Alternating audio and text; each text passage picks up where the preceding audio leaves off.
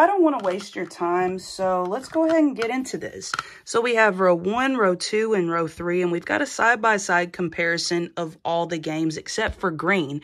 The reason why we don't have green is because it was only released in Japan. A lot of people don't know that. So if you happen to have a green Pokemon game in English, it's not real. I'm sorry to burst your bubble. It's just not.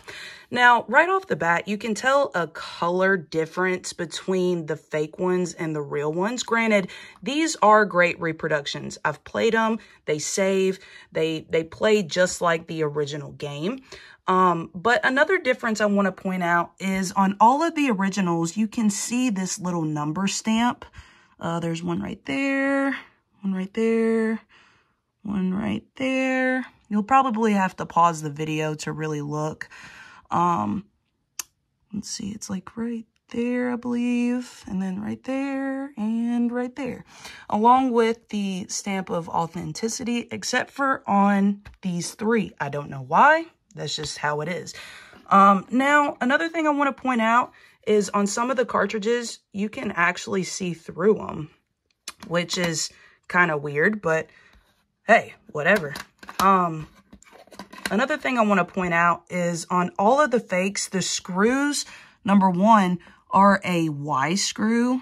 And these are like, I don't know what kind of screw that is. I'm so sorry. But completely different screws for number one. And number two, the fake ones are more towards the top and kind of in the middle, whereas the original ones are more towards the bottom. Now, let's say you have Pokemon Gold. Well, for starters, it's not really sparkly at all, but you can't see through it, just like on this one. But you can tell that the one on top is indeed a fake because of where the screw sits.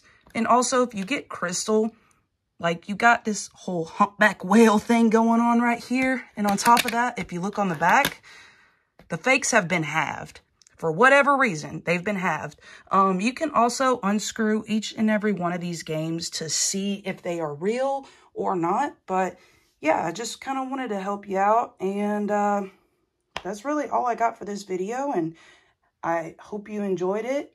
Like it, share it, do whatever with it. I don't care. But I hope you enjoyed it and happy gaming.